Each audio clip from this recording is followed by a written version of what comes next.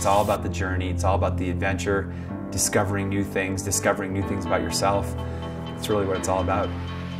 I'm Chris Davenport. I'm a professional big mountain skier, adventurer, lover of all things in the mountains from Aspen, Colorado. Well, the funny thing with snow is it's different everywhere that you go. In skiing, you can sense a lot from what the snow tells you. The sound that it makes, the feeling that you have underneath your feet. If it's totally silent, it's perfect. No snow is the same wherever you ski. I love the fact that snow is just ever changing, a very dynamic medium. It allows you to go so fast. Gravity pushes you down the mountains and you can glide on snow with such ease and fly through the air and land with such poise that it's, uh, it's just really, it's really exciting. It's tough to beat.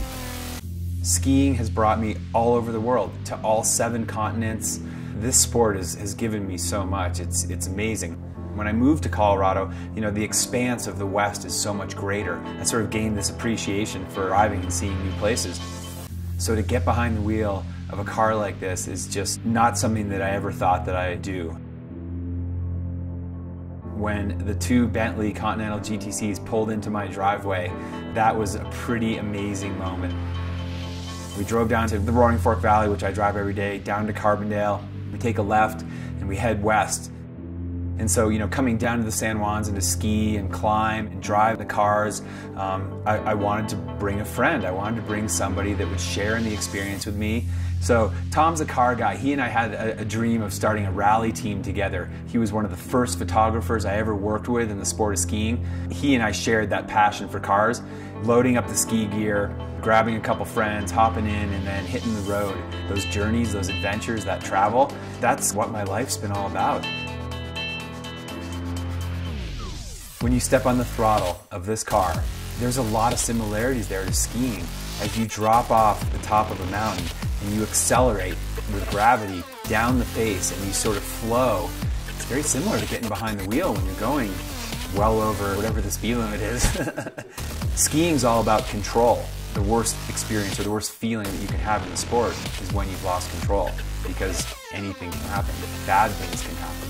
When you're behind the wheel of a Bentley, it's uh, you feel like you're in control way beyond where you've ever been in control in a vehicle before.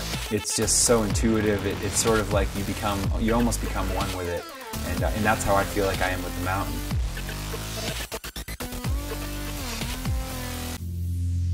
Time was going by really quickly, and all of a sudden we're in Hotchkiss and then Delta and then Montrose, and then you see the San Juans sort of sprouting up in front of you like this grand range. You're like, oh, there's Mount Sneffels. That's the 14er that I've skied. And then we sort of continue up and over uh, through Ophir and up and over Lizard Head Pass, and then down through Rico and into the Dunton Hot Springs area. We pulled in here at night, but when I woke up in the morning and actually saw this place, it was just like, oh gosh, this is so cool.